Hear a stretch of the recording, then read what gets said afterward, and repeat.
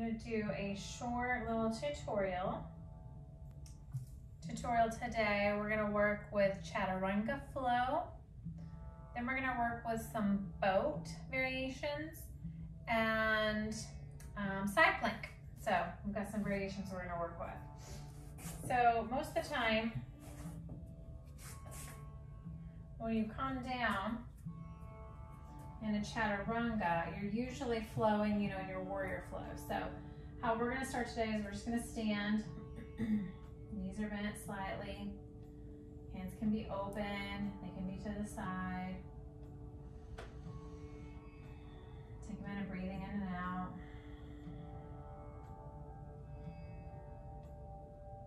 Now I want you to inhale up to the sky. Stretch, stretch, stretch. Exhale, swan dive down. Stretch it out, shake your head out. Yes, no, yes, no.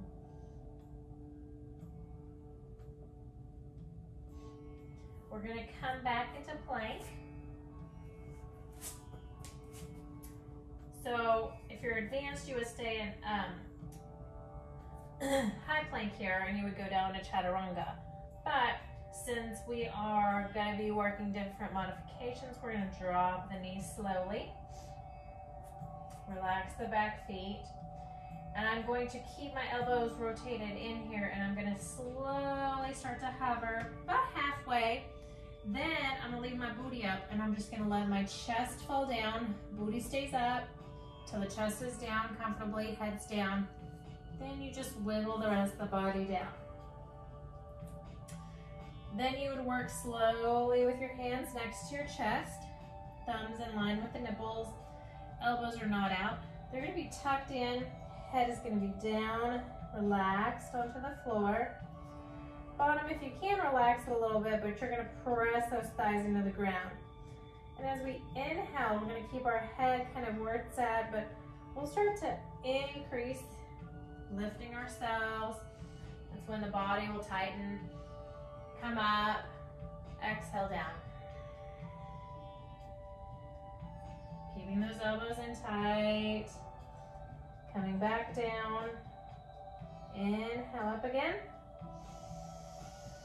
Head opens, throat opens last, and then exhaling down.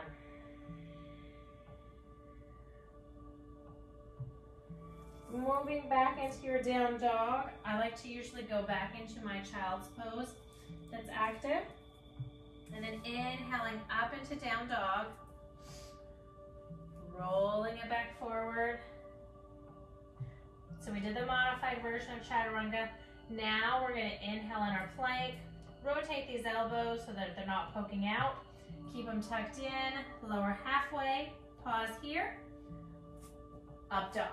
Just shifting your weight forward, keeping those arms steady Exhaling back into down dog repositioning. Walking the dog out if you need to. Good. One more time, just rolling forward, inhaling, exhaling, coming down, pause, up dog. Back to your down dog chaturanga flow.